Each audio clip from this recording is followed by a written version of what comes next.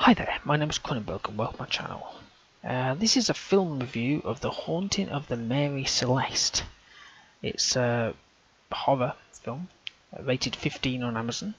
Uh, it's an hour and 14 minutes. Um, Amazon rating overall is 3 out of 5 and IMDb is 3.3 out of 10. The Amazon synopsis is a researcher sets out to prove that the disappearance of the infamous Mary Celeste was due to supernatural reasons.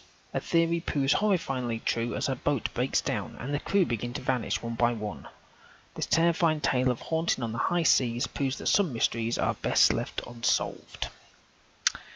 So the director is Shana Betz, S H A N A B E T Z, and she directed Free Ride. The producer, there's six of them, so I picked three of them. Uh, Justin Ambrosini, Ambrosino, A M B R O S I N O, who produced The Last Buffet. Brian Dreyfuss, D R E Y F U S S, who produced Compulsion. And Norman Dreyfuss, who produced Red. Music was Alex Ruger, R U G E R, who did the music for Jump Force, the game. Uh, now the cast, I've put them all down because there ain't many. We have Emily Swallow, who is Rachel, who is in SEAL Team, the series. Alice Hunter, who was Cassandra, and she was in Girl House. Pierre Adele, A-D-E-L-E, was Aldo, and this is the only film he's ever been in. Richard Roundtree, who was Tulls, who was in Shaft.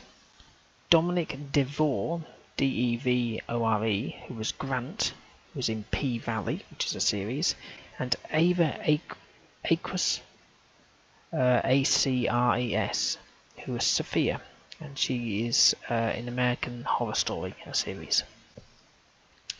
Um, just so you know that the image there I found for uh, Pierre Adele is the only one I could find. Obviously, if I watched the film, you, you might see it there, but that's beside the point. Um, so when it starts up against a high flyers film, I've I've seen so many of the low rated films that are, are done by high flyers, which is you know fine. I'm used to them now, so that's kind of cool. Uh, credits come up. There's water. There's a photo floating around in the, in the water. Some ominous music, you know that kind of music, like Jaws kind of style. Um, so the main character is Rachel, who's Emily Swallow. Uh, she's got cuttings, photos, articles about the boat. Um, so her and um, uh, Cassandra, who's Alice Hunter, and Grant, who's Dominic Devore, head off down to the uh, harbour to find their boat because they're off to, you know, to look at the Mary Celeste area. Uh, but of course, it's gone.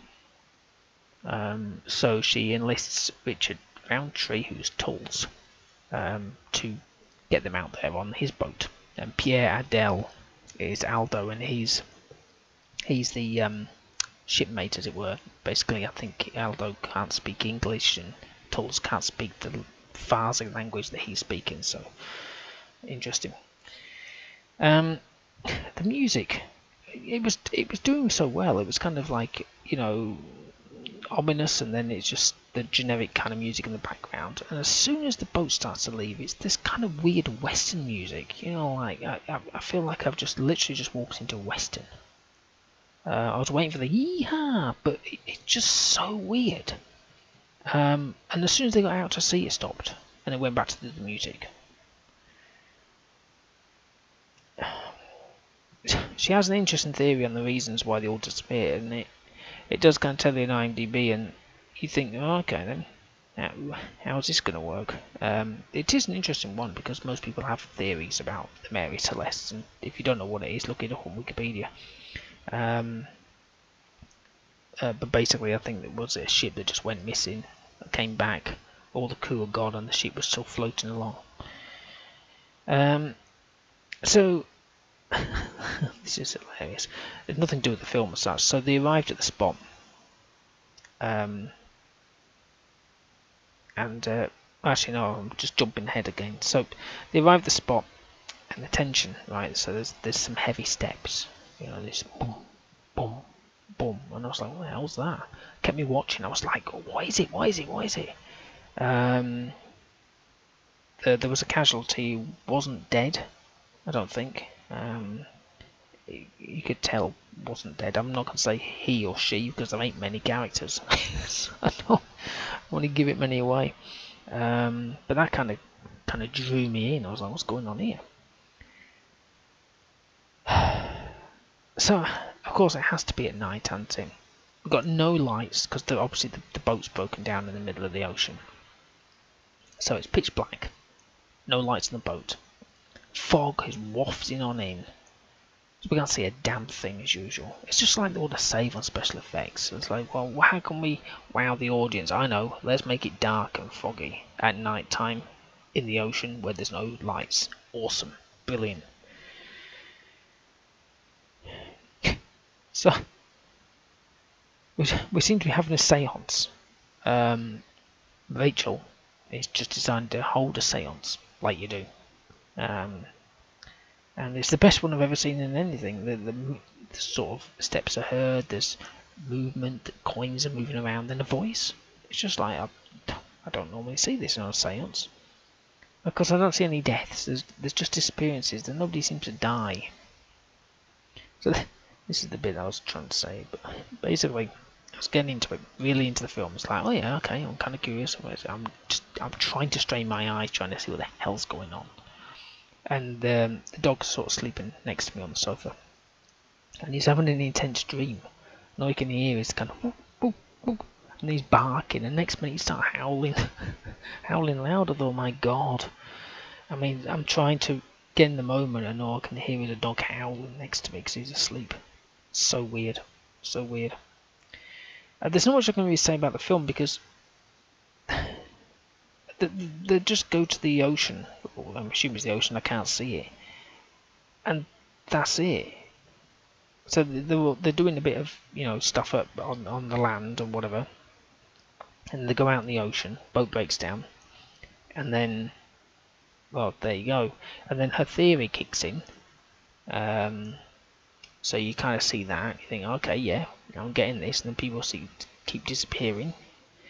Uh, but then she has an alternative motive there. It's just like, what the hell's going on here? It, it just looks it took a kind of a weird sideways thing. I thought, what the hell?